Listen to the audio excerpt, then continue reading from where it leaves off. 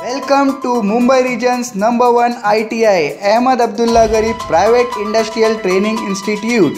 Admission open in ITI trade courses.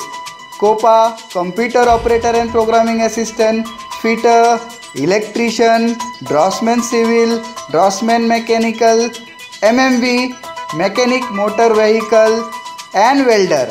For more information, contact the below mentioned numbers. Thank you. Kausa कब्रस्तान के पास हुई खूनी वारदात दरगाह परिसर में रहने वाले व्यक्ति पर मुमरा के अपराधियों ने किया धारदार हथियारों से।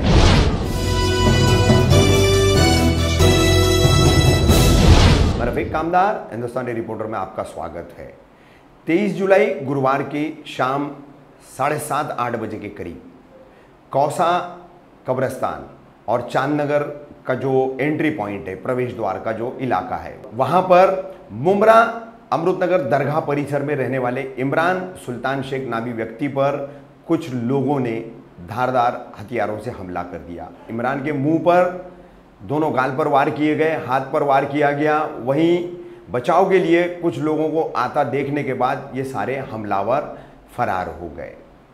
इमरान की दी गई शिकायत के अनुसार ये सभी हमलावर मुमरा के अलग अलग परिसरों के रहने वाले हैं और इन तमाम लोगों के आपराधिक रिकॉर्ड है।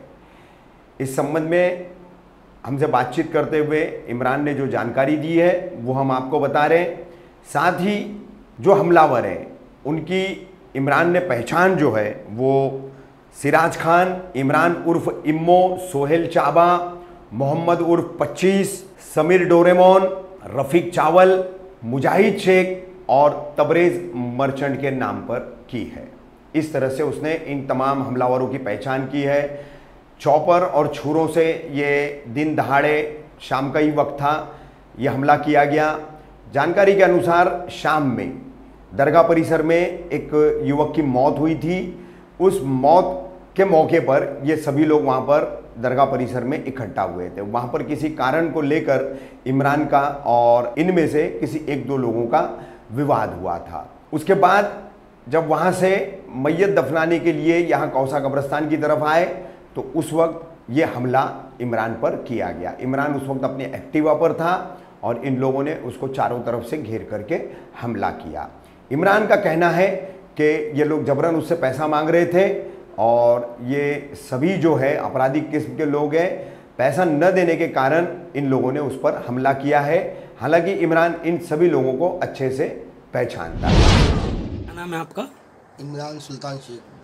कल जो ये आपके साथ में वारदात हुई है आपके ऊपर जानलेवा हमला हुआ है ये किस बात के ऊपर से हुआ है? पैसे के ऊपर। तो ये आपको मारने वाले जो लोग थे क्या आप उनको पहचानते हैं? बहुत अच्छी तरह। तो क्या आप उनके नाम वगैरह बता सकते हैं? तबरेज मर्चेंट सिराज खान के उसको भी मर्चेंट लकब लगता है। सोहेल चाबा इमरान उर्फ़ इम्मो। जो शाहिद के मर्डर में लोग पहले भी थे। ये मर्डर किए थे? शाहिद का लोग ने शाहिद नाम मर्डर किया यून बाग में। मर्डर में पहले भी थे। सोहेल चाबा। और ये पच्चीस करीब उम्र का बचकाना है।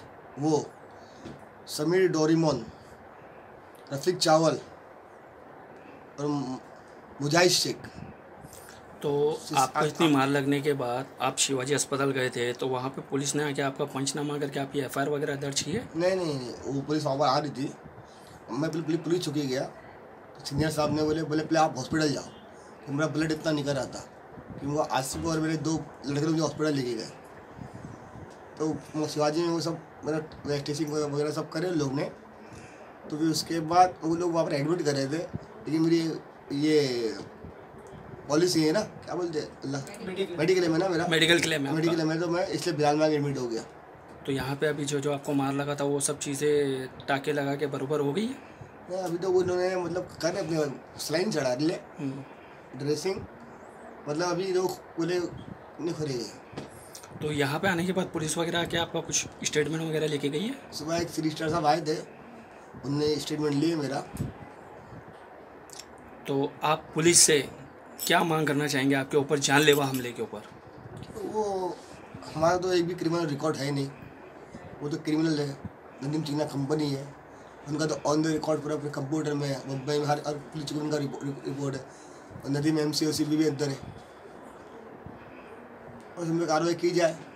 तो आपके ऊपर ये हमला हुआ कौन से एरिया में? पहले छोटी सी भैंस दरगाह पे हुई अमृत दरगाह पे। एक मैये का मेरे दोस्त की भाई का इंतकाल हो गया था। तो उसमें उसमें तबरेज लोग आए थे उसमें भैंस दरगाह पे बनी पैसे पर। तबरेज पैसा मेरे से मांग रहा था। तो उस मतलब खड़ने के हिसाब से। उसकी मेरी बहस हो गई। तो बहस हो गई तो वहाँ पर लोग चुप बैठ गए। कि वो मतलब वहाँ पर हमारे मेरे मेरे पहचान लोग भी थे ना? अगर वो तो कुछ करता तो मेरे पहचान लोग भी बीच बचाव के लिए आते थे। मैं झूठ की बोलूँ? कि मतलब वहाँ पर वो पूरा नहीं पढ़ जा पा, पा, पा, पढ़ पाता था मेरे से। मैं हमारे पसंद के बोलने के लोग भी है जो वो चाहते हैं। इनके अच्छे बुरे में मैं जाता हूँ। फिर आप नमाज़ जनाजा दरगाह में पढ़ाई गई। तस्वीर के लिए कौसा बरसान लाया गया? एम एम नहीं नहीं। कौसा बरसान रोड वाला। चार नगरा अच्छा।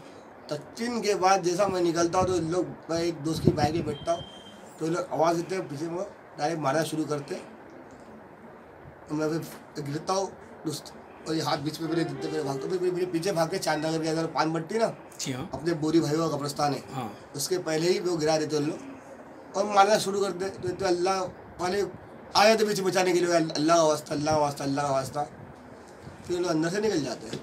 लोग फिर जो उठाते वो लोग और आस पे जो जो जो जन रिक्शा में बिठाते और बोरा छोड़ी लेके जाते मेरे तो सीनियर साहब बोले सब वो भारी खड़े थे सीनियर साहब। वो बोले, पहले कि तू हॉस्पिटल हॉस्पिटल जाओ तो मैं हॉस्पिटल जाता हूँ। ऐसा होता है। ये कहानी